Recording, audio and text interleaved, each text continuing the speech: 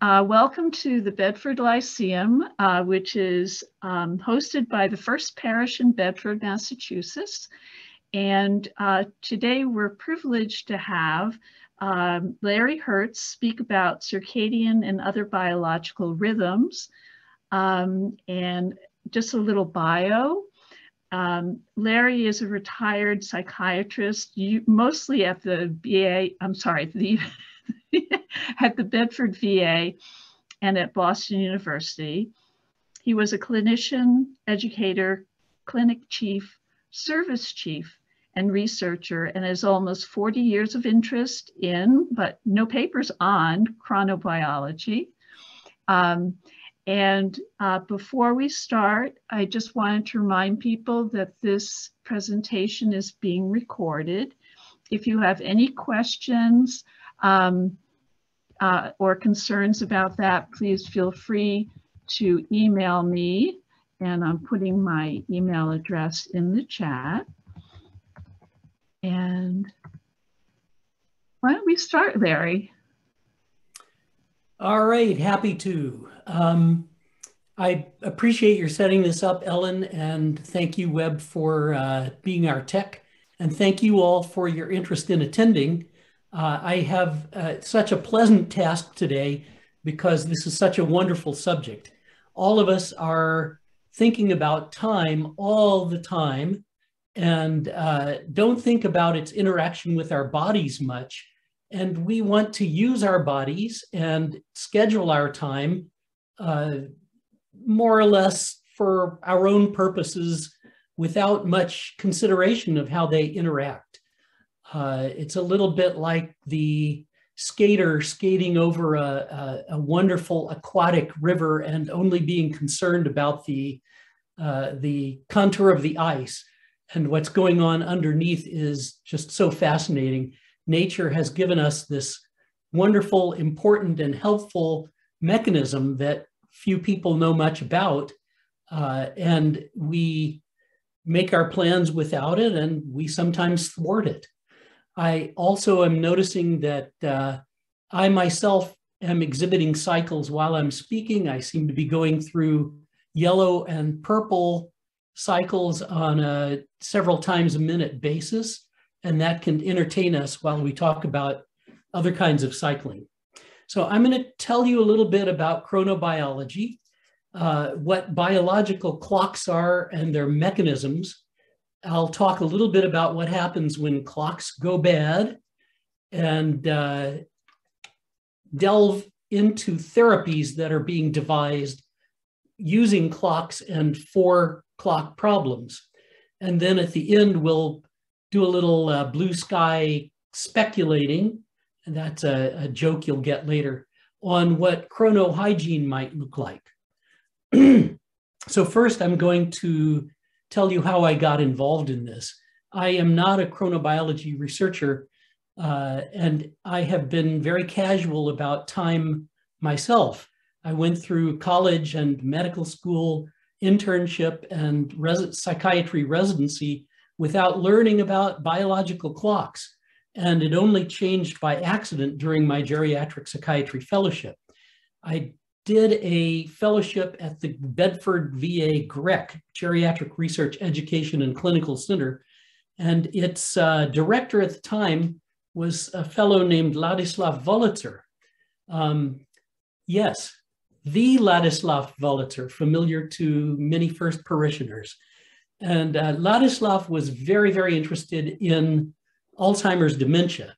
And that was, in fact, the mission of the Bedford GREC. There were 100 inpatient beds for people with severe dementia.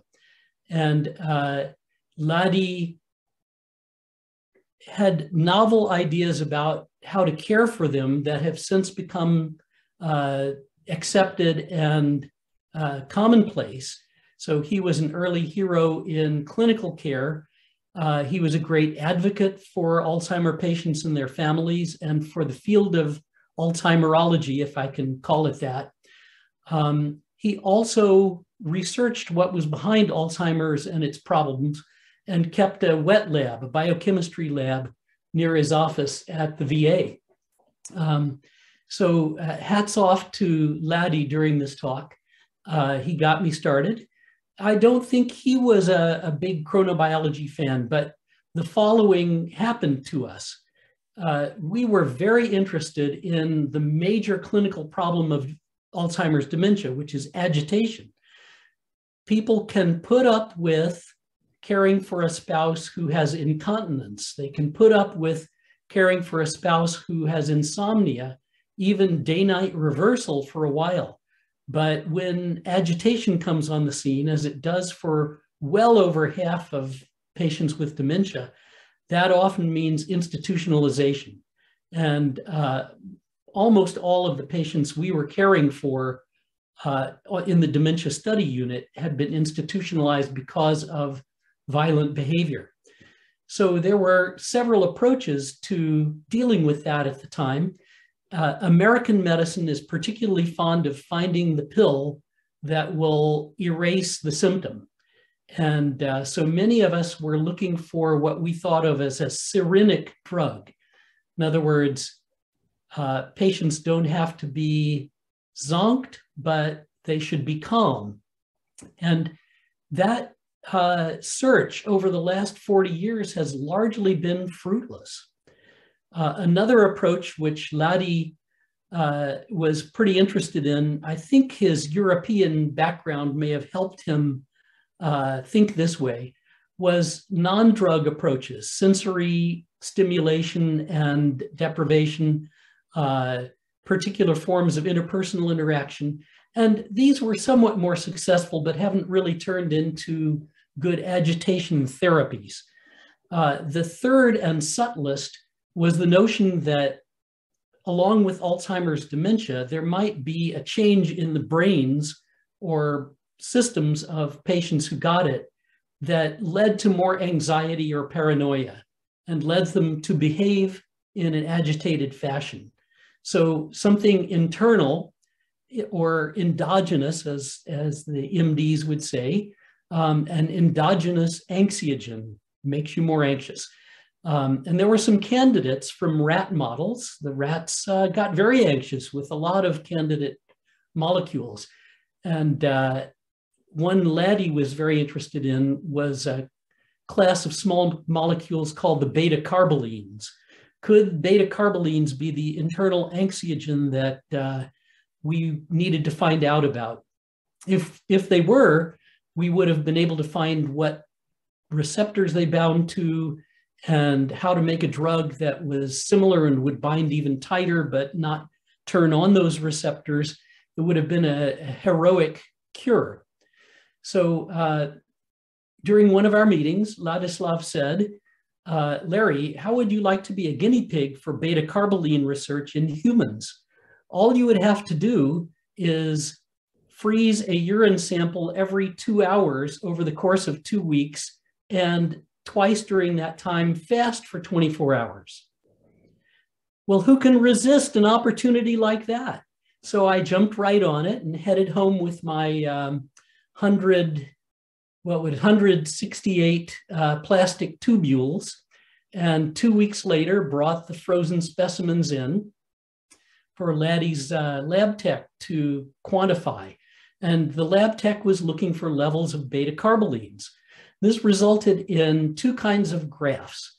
One was a simple time series that laid out every specimen and its contents in beta carbolines in nanograms per liter or whatever units we used. And the other was um, something more relevant to later in the talk, so I'll describe it a bit for you. Um, all the midnight specimens were averaged, and that was plotted on a single day's midnight bar. I should do that over here for your sake. And then all the 2 a.m. Uh, averaged and plotted at 2, all the 4 a.m.s and plotted at 4. So we ended up with a uh, sort of specimen single day with the averages during of, of, of the amounts of beta carboline during each of the periods in that day. And it showed a nice circadian peak and trough pattern. So this was a compound that uh, had circadian distribution, but unfortunately the time series showed that whenever I had fasted, beta carbolines had dropped out and only uh, showed up again at, after refeeding. So they were, in fact, a product, a metabolic byproduct of eating. They were not an endogenous anxiogen. Had they been, Laddie and I would both have had very different careers starting from that point. But as a consolation prize, Laddie suggested that I go present a poster of the results at the first Gordon conference on chronobiology. Gordon conferences are called summer camp for scientists, but in fact, they are uh, very elite affairs. So there were uh, sort of worker bees like me presenting some data and the luminaries of each field uh, talking about the most important discoveries they'd made and uh, strategizing about how to bring the field forward. And there I met wonderful, wonderful uh, international heroes of chronobiology. And I also found out what it was. So I'm now going to show you what it is. Uh, I, I hate it when lecturers read their slides to the audience because the audience is then trying to read and listen. And I won't do that. I'll just shut up when I show you a slide. Um, and uh, let you read it, and then I'll make some annoying comments during that process. So let me start trying to share the screen. And so uh, what is chronobiology?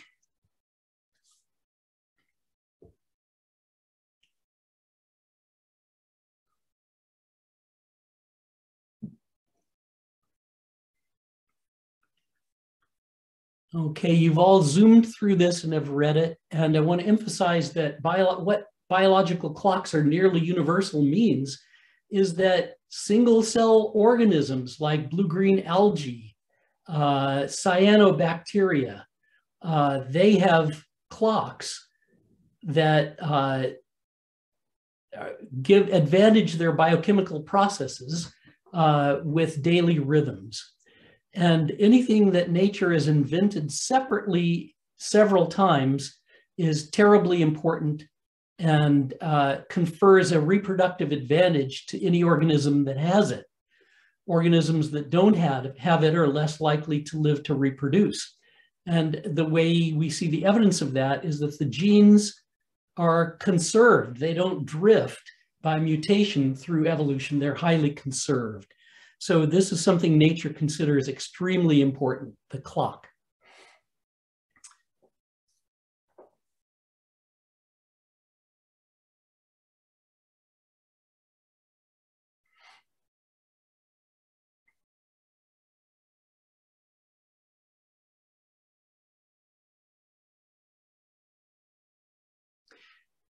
When you get down to 1954, uh, this guy, Jürgen Aschoff, um, found World War II bunkers far from any city, and he outfitted them so that volunteers could spend two week stints in them, protected from signals such as traffic and light, and uh, could go about their business of waking, sleeping, and eating at their own speeds in uh, sort of uh, near darkness. And he was able to time what they did. Uh, he determined that humans, like other organisms, have endogenous clocks, clock, biological clocks inside that are independent of the sun and other uh, time cues. Time cues he named Zeitgebers, time givers in German. He got the Nobel Prize for that.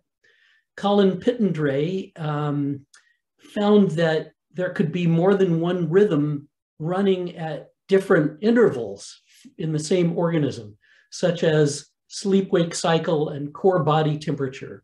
He also found that if you removed all time cues, animals sometimes didn't have 24-hour rhythms, but had somewhat different rhythms and might split off their rhythms to 48 hours or 50 hours after a certain amount of free running.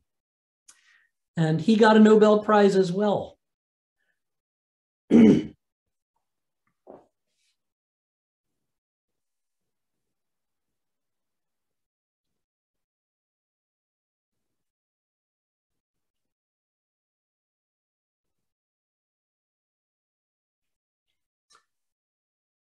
So I met these two Nobel winners and I listened to Bill Hrushesky talk about uh, his chronologically informed chemotherapy and its survival benefits. Um, it, and these were, this was clearly a young, thriving field at the time and uh, convinced me to follow it. So we're going to talk now about what chronobiologists uh, are looking at and how they measure it. First, ultradian rhythms. Uh, the examples that come first to mind are brain rhythms, the rapid eye movement cycle of sleep, and the nasal cycle, which you may not even be aware of, but one nostril enlarges and the other constricts, uh, and they take turns on a maybe two to three hour basis throughout the day. The circadian rhythms are much more familiar.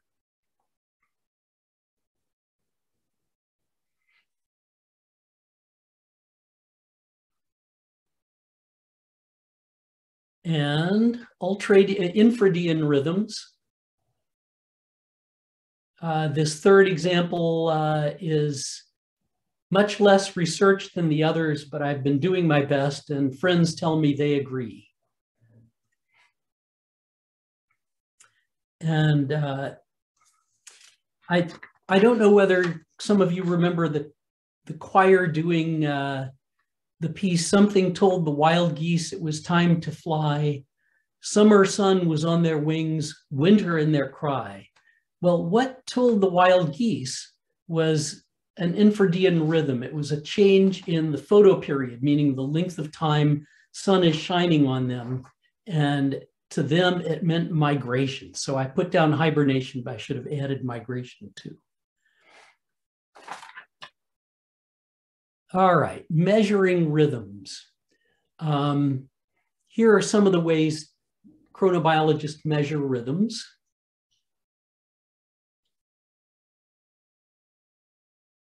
Actigraphs are uh, little movement detectors you wear on your wrist like a watch.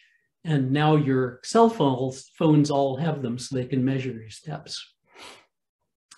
Uh, a phase response curve is like what I described uh, Dr. Volicer doing, graphing over one cycle an average number of many measurements uh, to show a circadian uh, rhythm, but with a twist. Uh, what we're actually graphing is the magnitude of impact a stimulus has on uh, a circadian rhythm. The next slide is the hardest one I've got for you, if not the most annoying, but I'll explain it. Here is uh, Waterhouse's uh, 1980s slide for core body temperature during a 24 hour day. And like the graph I mentioned with the beta carbolines, this was actually uh, many, many time points, probably from many, many people, plotted as though they were uh, measured almost continuously in one person, but a very good representation of the human circadian rhythm in, core body temperature, which reaches a nadir at 3 a.m. and uh, uh, peak at an acme at uh, about 3.30 p.m. So uh, here comes a phase response curve, duck. So this portrays um, the 24 hour day. Each one of these little vertical gray lines is uh, an hour. And we start with 6 a.m. Next bold one is noon. Next bold one is 6 p.m. Next bold one is midnight and then 6 a.m. again. And we're looking at bright light, dim light, and melatonin in their effect on uh, bodily rhythms. So during the day, uh, about 8 a.m. to maybe 4 or 5 p.m., bright light and dim light do nothing. They're down at zero. They don't advance or delay circadian rhythms at all. Uh, as you get toward uh, 8, 9, 10, and 11 p.m., bright light makes your brain think hey, wait a minute, uh, maybe the day's longer than I thought. I better drag out the circadian rhythms. I better slow things down. And then there's this funny thing that happens at 2 a.m. excuse me, when uh, suddenly the brain begins to think, no, uh, the next day has begun. I'm going to phase shift uh, in a positive direction and advance rhythms up to four hours. Now, uh, you, you don't simply look at a bright light and suddenly get a phase shift of four hours. This is probably uh, an exposure of over 30 minutes of bright light on several days before these phase shifts happen. But this phase response curve shows what light is capable of doing to the clock. All right, so uh, let's talk about the clock. What, how can all this happen? What, what is meant by a biological clock? Um, biological clocks use what we have to work with. They employ the central dogma of biology, which is that DNA in the nucleus makes RNA, which travels outside the nucleus to the cytoplasm and gets transcribed into proteins or translated into proteins. Proteins do the business of the cell. If you are a pancreatic island cell, you make insulin, and some of the proteins make insulin and excrete it. There are others that do cell maintenance functions, uh, cell division functions, and uh, some of them actually do clock functions. So there are probably about five genes in the human that uh, form this biological clock. And they form it by feedback loops. And I'll explain that in a moment.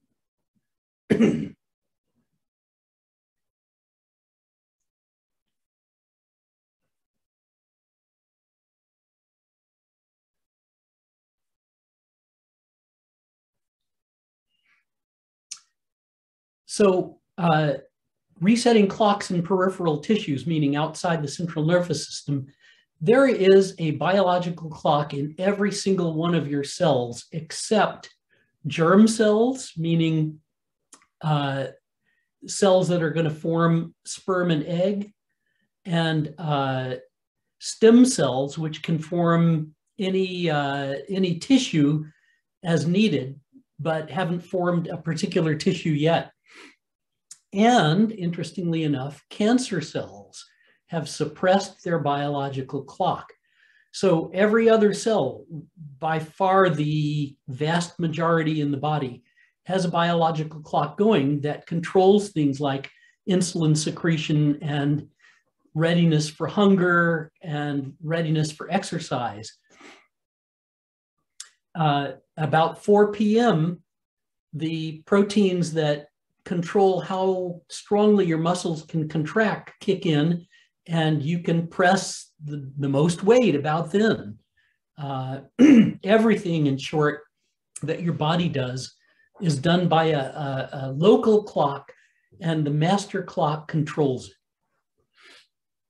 Now, you're probably cleverly saying to yourself at the moment, how can that possibly be 24 hours exactly every day of my life so that I don't drift through the um, solar cycle over a period of months or years? And in fact, it is what I've described to you now, and I can, anybody who wants to ask more about the feedback loops uh, can ask in the question and answer period. Uh, they take 24 hours and 11 minutes. Now, uh, it was clear by the time I uh, sort of joined the enthusiast group that something had to reset the clock, something had to reset the master clock. And it was clear that that was light. Here are some hints. In rats, you can see these two little hypothalamic nuclei, little paired things right on either side of the midline, right above the optic chiasm where the optic nerves cross and head back to the uh, optic cortex. And these two little um, nuclei of just about 20,000 cell bodies turn on just like paired light bulbs in the dark. And they turn off at, uh, during the light. Uh, that is the master clock of the, of the rodent uh, behaving in a way that resets the rest of the clocks in the rest of that body. Ours turn on during the day. So we knew that there are suprachiasmatic nuclei in humans, and uh, we knew that they were not resetting the clock through rods and cones. Uh, and the way we knew it was that there are some diseases in which rods and cones degenerate, but those people can keep a 24 hour day perfectly well. So there was some other cell in the retina that we didn't hadn't identified uh, that was giving the signal to the suprachiasmatic nucleus. And uh, since then, it has been identified.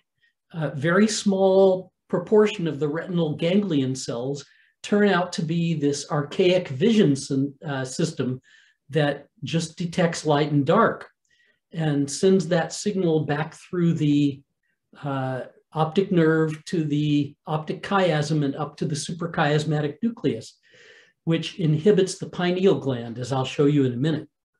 And um, what pigment is exciting those, uh, how are the photons transmitting light into electrical impulses?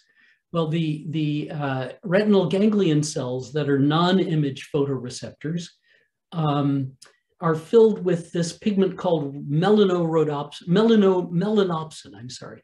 And it, it's a little bit like rhodopsin in your uh, rods, but melanopsin responds to blue light at about 480 nanometers.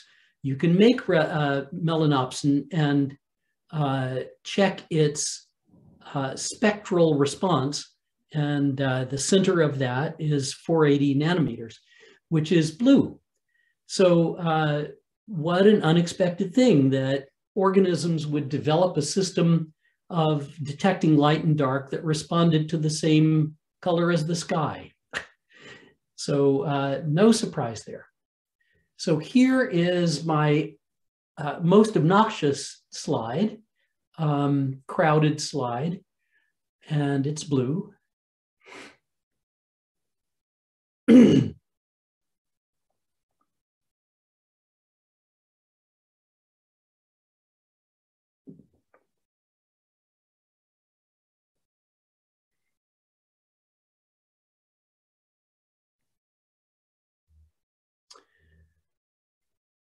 So in this slide, I didn't have space to tell you that DLMO means dim light melatonin onset, which is the uh, catalyzing event for all these reactions. And in the bottom line, uh, DLMO plus six means six hours after dim light melatonin onset.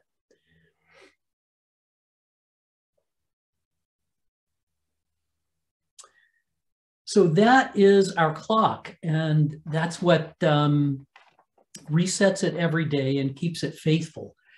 This is a very oversimplified view, and uh, in the next slide, I, I'm going to show you some other things that reset the clock. Fortunately, blue light is the, the main uh, event that resets the clock, but other things that increase the amplitude of biological rhythms and can reset the clock in absence of blue light are physical activity, socialization, etc. here. When I say melatonin, I don't mean endogenous melatonin, I mean uh, over-the-counter melatonin. And even meals. Meals are potent at resetting peripheral clocks like liver and pancreas. So uh, you're probably wondering at this point, uh, you know, we have not been hunter gatherers for a while. We haven't even been uh, field workers and agrarians, most of us, for a while. How come we still have a biological clock? And uh, it's true that we get very little light indoors. You may think you're in a well lit room. You're probably getting 200 lux at most. And outside on a cloudy day, you're probably getting 10,000 lux. And on a clear day, you're probably getting 60,000 lux, maybe on up to 80,000 lux. uh, and those are very potent. In addition, in the inside, um, the lights are mostly incandescent, which has very little blue in it. Uh, even fairly recently, um, uh, well, candles certainly had very little blue light, but uh, it took fluorescent lights before we started dosing ourselves at uh, odd times with blue light and off times, really. And now that the um, technology has given us a blue light emitting diode, uh, we can look at our computers and see both blue and white, which we couldn't without a blue LED. Uh, but we can also stimulate our retinas with blue light at any inappropriate or appropriate time of day we want. So here's my slide on uh, how we screw this clock up.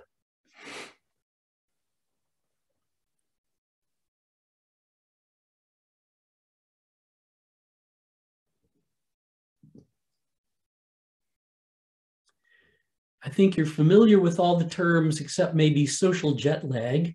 Social jet lag alludes to our tendency to wake up early and go to bed early five nights a week, and then uh, set ourselves back uh, an hour or two or three uh, on the weekends.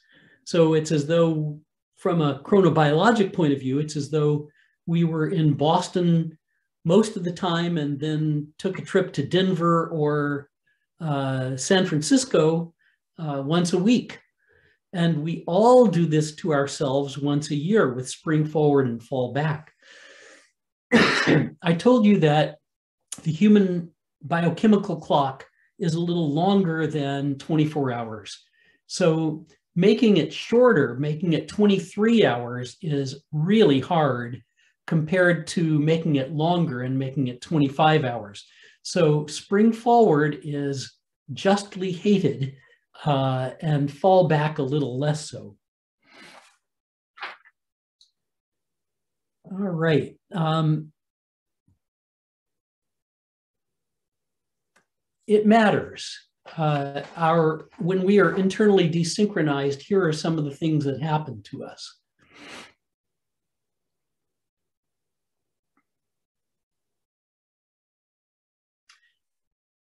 Now, this slide conflates two kinds of research.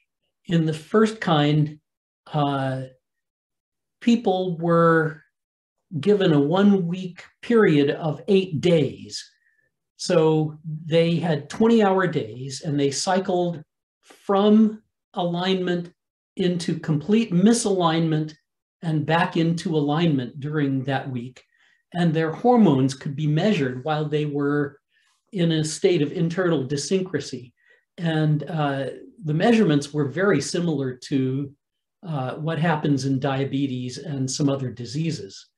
And others of these, such as the proclivity to cancer and the rap more rapid progression of cancer, come from different experiments that looked uh, at shift workers over a long period of time. and you see the industrial accidents and uh, motor vehicle accidents on the way home from shift work and heart attacks. Well, there is a little peak of motor vehicle accidents, heart attacks, and deaths right after spring forward every year, the Monday after spring forward, um, which we're about to undergo in eight days. Uh, and it that peak vanishes in a few days as people realign their clocks. Here is a, I cribbed this uh, probably copyrighted picture from somebody who wanted to emphasize the uh, hormonal and metabolic problems with desynchronized clocks.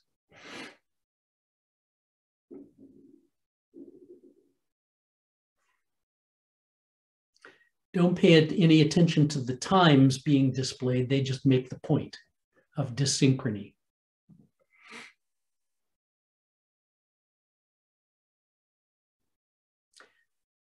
So I recently listened to a lecture by uh, Michael Young, not the hockey star, but the no Nobel Prize winning chronobiologist from 2017.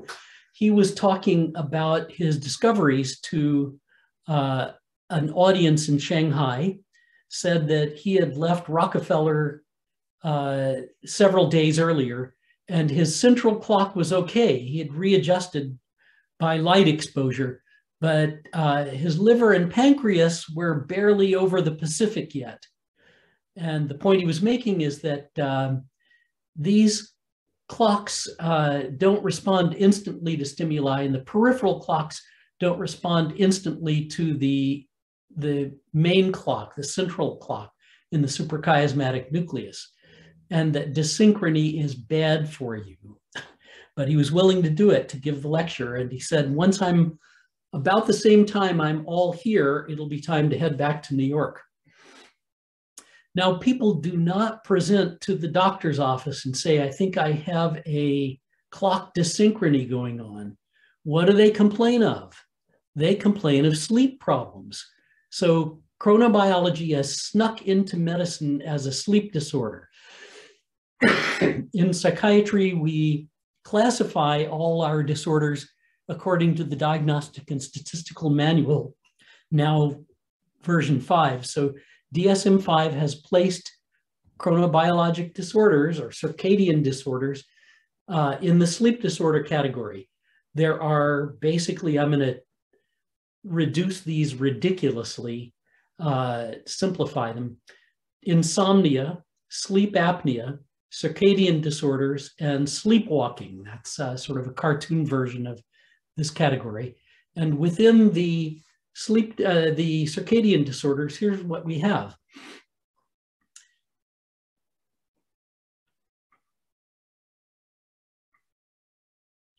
Now, delayed sleep disorder is not just being a night owl.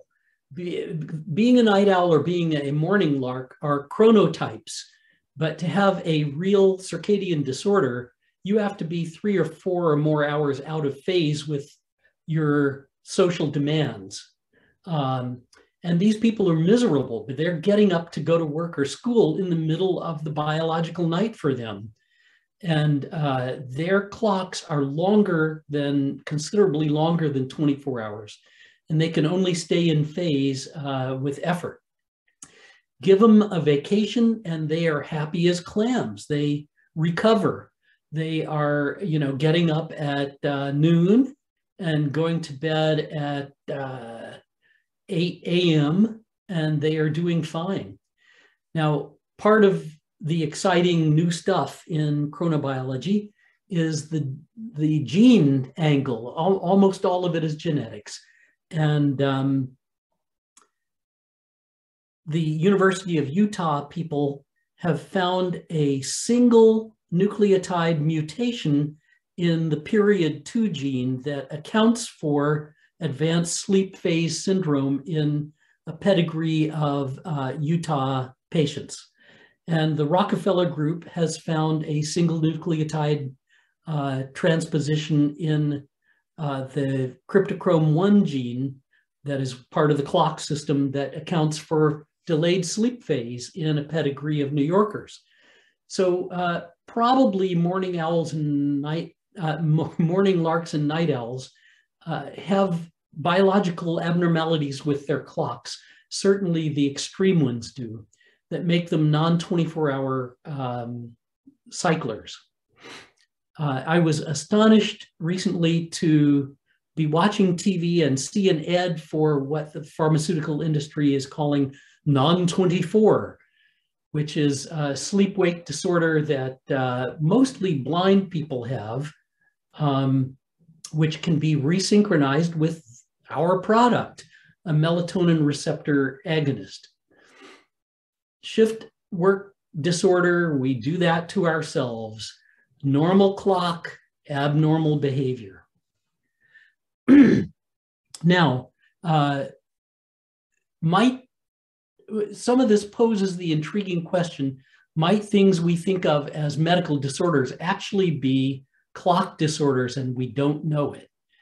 Well, uh, uh, I've spent a lot of time on this looking at psychiatric disorders. It may be part of the problem for many depressions.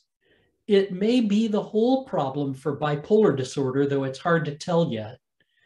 And um, we may be doing ourselves mental damage with social jet lag, which is prevalent in the population, but not well understood. You know, the consequences aren't well understood. Can we use some of these things to be healthier? Well, you've been reading a little bit about clocks when you have uh, heard a lot about sleep hygiene these days. What is sleep hygiene? Get up at the same time every morning, regardless of what your schedule is. Exercise during the daytime at the same time if possible. Take a while to prepare for sleep. Let your body um, shut down. Don't exercise or sleep soon before sleep and turn the damn screen off or at least uh, put the nightlight filter on it so you're not getting blue light from it if you must watch TV or, or uh, be on your laptop. Um, we can treat jet lag and shift work with light, melatonin, coffee, and exercise, though the treatments aren't perfect. Um, it's very interesting what's happening in mania right now. Uh, people come in in a manic episode to the hospital often are there for a couple of weeks while lithium works, while antipsychotics work. But if they will agree to dark therapy, no ray of light for uh, 36 hours, often the manic episode is terminated right then and there. So look for news, watch this space uh, for chronobiologic treatment of mania. And everybody knows about uh, seasonal affective disorder, which is very treatable with bright white light. Now, recently we've discovered that people who take drugs for osteoporosis aren't getting the bang for their buck that they could if they took the drugs at the right time. And uh, about a year and a half or two years ago, uh, I ran across report of a study in the Dutch population, a very large population, on the antihypertensive drug lisinopril. And I was additionally captured because I take lisinopril for prehypertension. And uh, the authors asked this interesting question, and this is happening throughout medicine.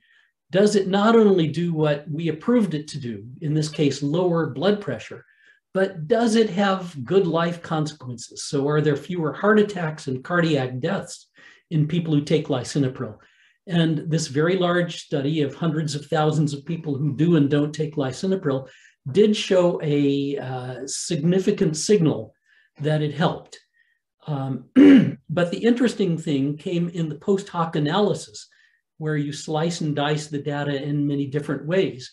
And it turned out that the people who take their lisinopril in the morning, i.e., most of them, were not getting benefit.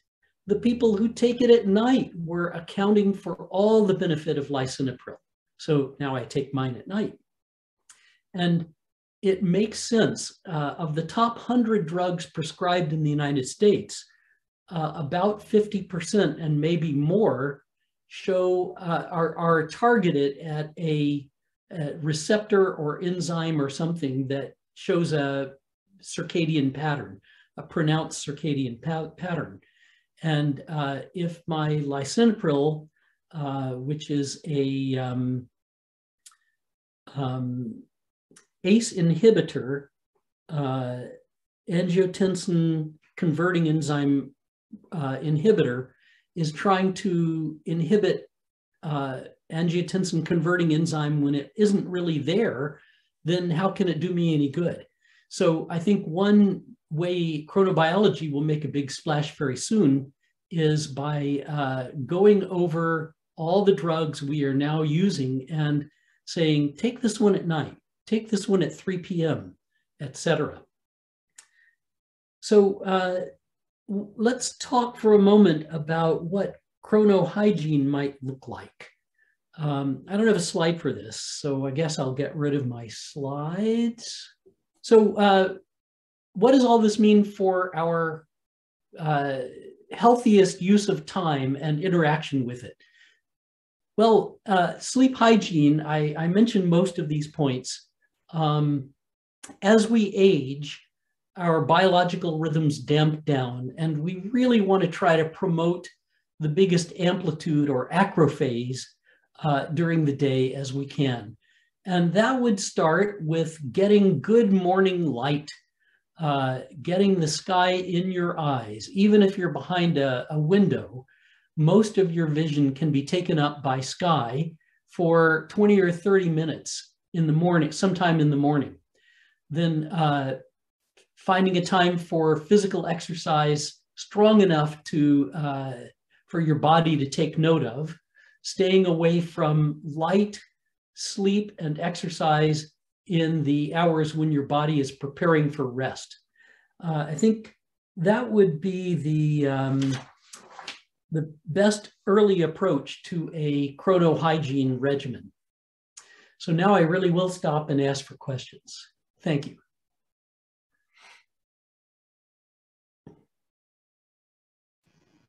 Thank you very much, Larry.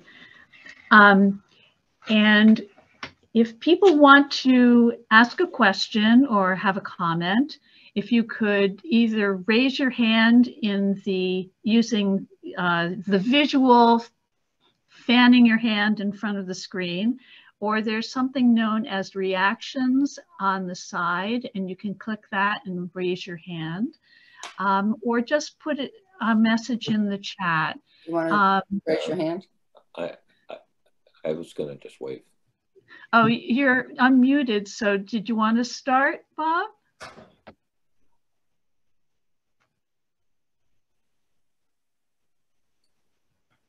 Larry, um, I, yeah. thank you. Thank you very much. That's fascinating.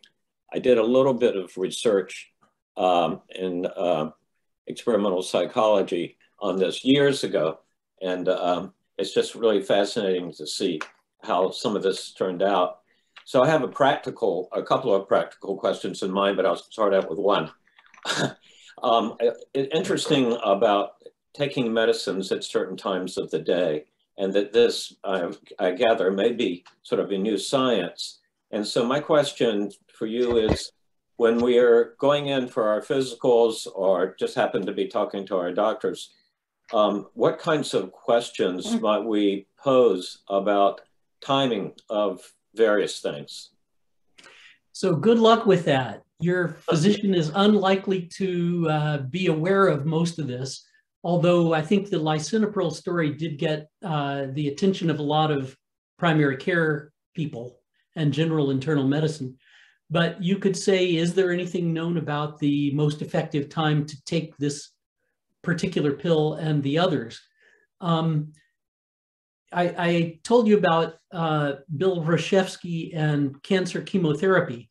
They couldn't make that work. Most big groups who tried to increase survival by uh, timing the chemotherapy were unable to do it, but it's starting to come back into vogue right now um, because uh, it, it's beginning to look like uh, biological rhythms suppress cancers. And um, the what we want out of that is individualized. It's um, the toxicity to the host of uh, to the host cells of the chemotherapy regimen and the toxicity to the cancer cells of the chemotherapy regimen and the time of day when that difference is biggest, that we can get the biggest anti-tumor dose tolerated by the host. And uh, there is now active work on that going on. And I think the oncologists will be more aware of this than your, your general uh, internist. Thank you.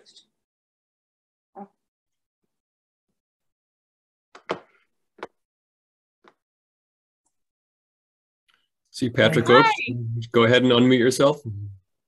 Um, actually, Melinda, I had a question. Um, Larry, wonderful talk. Thank you so much for um, deepening our understanding of these various aspects of circadian rhythms and the impact in so many ways that I wasn't aware of. Um, I um, had talked, was working with after uh, I was working with a Chinese acupuncture and herbalist, and, and he talked about the importance of going out first thing in the morning, and then also recommended these low blue light glasses, and they're not all equal in their ability to block the blue light. Um, but I was curious about the usage of blue light glasses to help mitigate the impact of, um, you know, television, other kinds of screens, in addition to stopping using them earlier, which is of course on, on me or whoever's not stopping using their screens. But um, wondered if you had recommendations about low blue light glasses and, and your sense of their efficacy. Um, it keeps changing because uh, companies come out with uh, new products all the time, and uh, then they have to be tested. And are they really blue blocking as they say they are? So uh, I, I would do the same thing you're going to do and look it up on my phone. But I do try to uh, avoid looking at screens at night unless, um, and that in includes your reader, unfortunately, your Kindle or whatever the white light is made up of uh, blue, among other spectral uh, colors. Um, so if, if you have a real blue blocking uh, screen option, it'll look yellow, yellow and dark. Uh, so look for that if you're going to be reading at night. I'll send you the information about the one that I've been using that seems to be really effective and has some some good research behind it, just in case it's helpful for you to know about. But thank you so much. Really appreciate it. Thank you. I think the Krings are next. Go ahead. You can unmute yourself. Yep, got it. Thank you. Um, just want to make sure, uh, Larry, fascinating talk. Thank you. Um, so as we approach bedtime, whether we're old or young, is it helpful, did you say limit light, sleep and exercise, or, or was it light eating and exercise? What light feeding and exercise eating. going to okay. be uh, there are going to be evolving um, recommendations with more and more evidence uh, on when you should eat what and it will will not be heavy stuff uh, late in the day got it and then for someone who is on shift work doing a night shift as they are coming off their night shift, going home.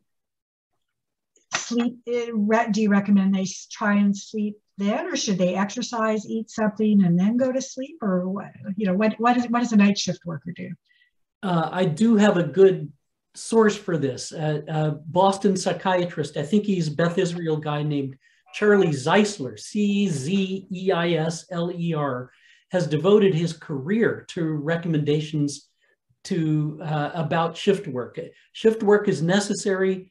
Shift work, like so many other things, is um, foisted on those who can't afford not to do it. And uh, so they bear the biological burden often. And uh, it, what, what's important is bright light at the very beginning of the shift and during the shift, and other stimuli like caffeine and exercise uh, during the beginning of the shift so that the day starts for those people then.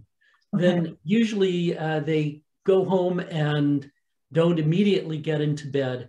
So the, the, uh, they are replicating what the rest of us do, but uh, 12 hours off. Okay. or however many, uh, you know, or, or whatever time their shift starts compared to our seven o'clock in the morning. And that does reduce uh, industrial accidents, uh, motor vehicle accidents on the way home, increases efficiency, and so forth. Yeah, uh, great talk, oh, Larry. Oh, wait, I'm sorry, one more thing. The important thing for shift workers is not to cycle back to everybody else's time during their weekends. Okay. Uh, because that that immediately introduces uh, dysynchrony. Okay. Uh, sorry, Roy, go ahead. Yeah, great talk, Larry, and it didn't put me to sleep. Um, uh, I worked my nearly my entire career just working night shifts. Uh, and there, I understand there's some evidence that people who do rotating shifts do have an impact on life expectancy and their health. Uh, is that also true of people who just work night shifts? Uh, it's a little hard for me to tell what the way the research gets presented is shift work without any further specifiers. And I think uh, in a way, since most shift workers do switch back to uh, sort of common time on the weekend, it's pretty much the same. They, even if you work nights, if you then abandon uh, that shift uh, every week, you are swing shifting basically. Mm. And yes, the, the rate of uh, premature death and uh, well, uh, one interesting fact, I'm talking to both the cranes here, interesting to say this, the divorce rate is five times as high in shift workers as in the rest of us. Really? So good job hanging in there, guys. Wow, wow. Thanks. It makes you unhealthy and cranky. Uh, specifically, empathy and um, goes down and impulsiveness goes up in shift workers. Okay, thank you. Yeah, Rick Rosen, go ahead. Yes, uh, thank you. Uh, Larry, like everyone else, that was really wonderful. I really enjoyed it. I wondered if you uh, could comment about the value of naps or not. Napping. Oh, napping. Um, yes, the only what I hear, and the chronobiologists tend to uh, say two things about napping. One is that a short nap during the day doesn't do you any harm. It doesn't reset your clock. Uh, a larger nap that has an impact on nighttime sleep might do that, might reset your clock because it's, it's messing with your nighttime sleep. Uh, they also say that uh, sort of the native state of humans, especially in the winter months, is to have two sleep intervals, a first sleep and a second sleep. And this caught on in the popular press and, and got bigger than I think it actually is. Uh, I, I don't encourage anybody to cultivate two sleeps who doesn't now do so. And your tendency to take in blue light uh, while you're up at night um, would be far more damaging than what light anybody had available in the Middle Ages and, and before. So mm. naps are probably okay as long as uh, they do not interfere with nighttime sleep. Good to know. Thank you. Carol Apple, you can unmute yourself. Thank you. Um, Larry, that was fascinating. Thank you so much. And I'm uh, asking my question because I, I also take lisinopril and I'm confused now. I'm actually great, grateful for what you said about the timing because my CVS bottle says take it in the morning. Now, should I be talking to CVS about this or uh, now do I just change or email your prescriber and say this guy I was just watching said, but it's a once a day drug. Nobody cares if they haven't seen this. Your prescriber th- will think at night is just as good as at the morning and, and will let you off the hook there. Um, so uh, most drugs are, the, the pharmaceutical industry is very keen on once a day drugs because uh, if you take drugs two or three times a day, they know you're going to forget some doses and they won't sell as much of them. And if you take drugs three or more times a day, it's almost impossible to take all the doses you're supposed to take. So most of the meds we have now are once a day formulations, even if they were twice a day or three time a day drugs. And um, they we need to find out when the best time is for them. So I'd say it's settled for lisinopril. And I think your PCP will let you do that. Okay, thanks. Thank you.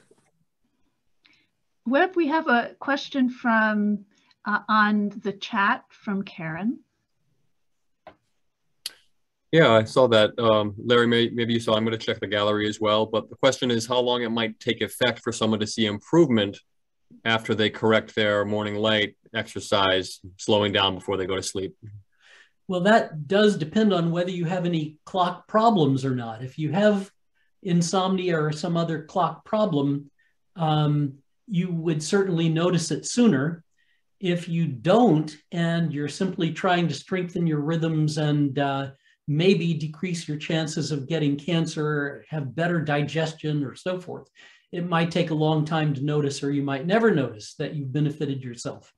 But if you do have a problem um, and you do the uh, hygiene regimen, your central clock, your main clock, will respond within a few days, and the other clocks will uh, come along in, in the, the, the, week or so following that. Thank you. That's uh, amazing. It happens so fast. Yeah, all this stuff is messy, wet biochemicals, and it is just amazing that we have such precision with it. Dot has a question.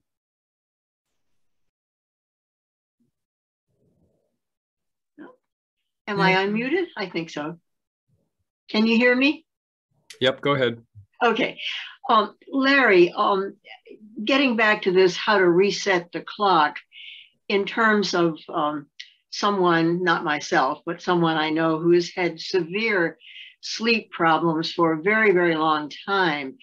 And I think you kind of hinted that most physicians really are not into this chronobiology. So, um, is there a way to to help a person who's had sleep problems for a very long time? Could that person start a regimen of of light at the appropriate times and different kinds of lights? Is there a recipe for that that might work for someone who's had this for a long time? Well, uh, it's it's just tempting for me to say, yeah, good, do what I said about uh, chronohygiene, but really, sleep problems need to be diagnosed, and uh, if they're miserable, uh, they could ask for a referral to a sleep center. There might be something going on like sleep apnea or something else that uh, chronobiology will not fix. And so getting to the root of the problem would be very important. Uh, if that fails, uh, I think there are very few people who wouldn't either have some benefit or at any rate no harm from taking in uh, morning light in a regular way and doing exercise in a regular way and getting their feeding schedules uh, on uh, on a fairly regular basis. Um, I have friends and people I know who are in the same boat, and uh, they haven't taken my recommendations. It's hard to change your habits. Uh, but if they're miserable, you can uh, try to get them to give it a try for a week.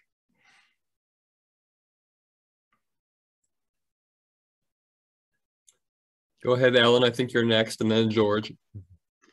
Okay, I just had a question. You know, you hear these stories that teenagers need more sleep. And I wonder if you can speak speak to that. Um, I'm sure it has something to do with chronobiology, but I don't understand it best. Yeah, uh, the field doesn't understand it terribly well either. Babies, of course, are born without any uh, discernible cycles, at least sleep wake cycles. And there probably hasn't been any research on their biochemistry either. Um, by the time kids are three and four, they're they are uh, well organized. In fact, they they start getting their days and nights organized around five months, and uh, by the time they are uh, children, they are behaving pretty much as adults on an adult circadian schedule. But uh, when those adolescent hormones start coming out, uh, suddenly, and this goes for males more than females, the length of their clock, uh, the, the cycle length lengthens, and they become uh, night owls. They have a terrible time for a few years uh, being on our schedule. And uh, educators are beginning to realize this, and employers are beginning to realize this. And then um, the other thing happens at the other end of life. Uh, as we age, we become morning larks, our chronotype, you know, we sort of ease into the, um, what's it called? The early bird special group. And uh, we probably have um, circadian cycles a little shorter than everyone else and uh, tend to get up earlier and uh, go to bed earlier. And that is another good reason for older people to pay particular attention to getting good sleep hygiene. So the, the reasons that, that hormones affect the clock in this way across the life cycle, I, as far as I know, are not understood yet. Thank you, Larry. George, you can unmute yourself. Actually, Carol's, I, I just did. Okay. Carol's going to unmute um, so that we don't create feedback. Um, I just wanted to respond to Dot's thing and, and also uh, in general. Um, I suffered from a lot of sleep, sleep problems for many years as well. And uh, one of the things that it produced was a lot of fatigue and you know daytime sleepiness. and so I did go uh, through Lahey Clinic's sleep lab um, about four years ago now, and it turned out that yes, indeed, I had sleep apnea to the extent that I was basically waking up close to 50 times an hour, if you can imagine that. You know, you're you're waking up every almost every minute or minute and a half. And certainly you do not get sleep that way. And I was I was not, you know, you're not aware of it. You, you, it's not something you're you're you're that aware of, but it's it's um, you never get into the deep sleep. So I um, was prescribed a, a, a BiPAP machine. Um, there are CPAPs and BiPAPs, and the, just the difference. The CPAP is constant pressure, and the BiPAP uh, is different pressure on inhalation and exhalation. And that has made all the difference in the world. Absolutely all the difference in the world. So anybody who's suffering from that kind of problem, um, you know, you, you, really are not uh, going to be able to do much to control your your your uh, rhythms, your, your, circadian rhythms, um, unless you deal with the the sleep just, uh, problem. Good point. So uh, sleep problems do need a workup. They're not all uh, chronological problems. Um, thank you for that. I no no um, payment was offered for that uh, testimony. Thank you so much, everyone. This has been really uh, fascinating. I think all of us learned a lot. I'm trying to squeeze my brain around um, college chemistry and biochemistry again to understand some of the, the details you presented so eloquently. Um, and I wanted to let people know, give a plug to our next Lyceum as well. Um, we're going to have another talk um, Sunday, April 3rd. This will be in conjunction with Bedford, uh, First Parish in Bedford's Peace and Justice Committee's inaugural presentation of the Dave and Ginny Packer Memorial Human Rights Speaker Series with a Dr. Alice Rothchild, and she'll be speaking um, uh, regarding um, Palestinian and Israeli uh, relations. Um, she's a, a, physician, an OBGYN for 40 years, author, filmmaker, um, and uh, she's written extensively. Um, it, it should be a fascinating talk. I'll just read this one thing to keep it short. Uh, she'll give a personal exploration of the ancient city of Jerusalem with a special focus on East Jerusalem and the surrounding areas of Greater Jerusalem, which have experienced decades of Judaization and erasure, erasure of the Palestinian presence. What are the costs of these policies, not only to Palestinians, but also to Jewish Israelis who are claiming the city as their own and what can we learn and what can we do. It should be very interesting. Um, sorry to take so much time out of people's day for that plug, but I hope you'll join us. Larry, thank you so much. It was great. And thank you, Webb, for all your assistance. Have a great afternoon, everyone.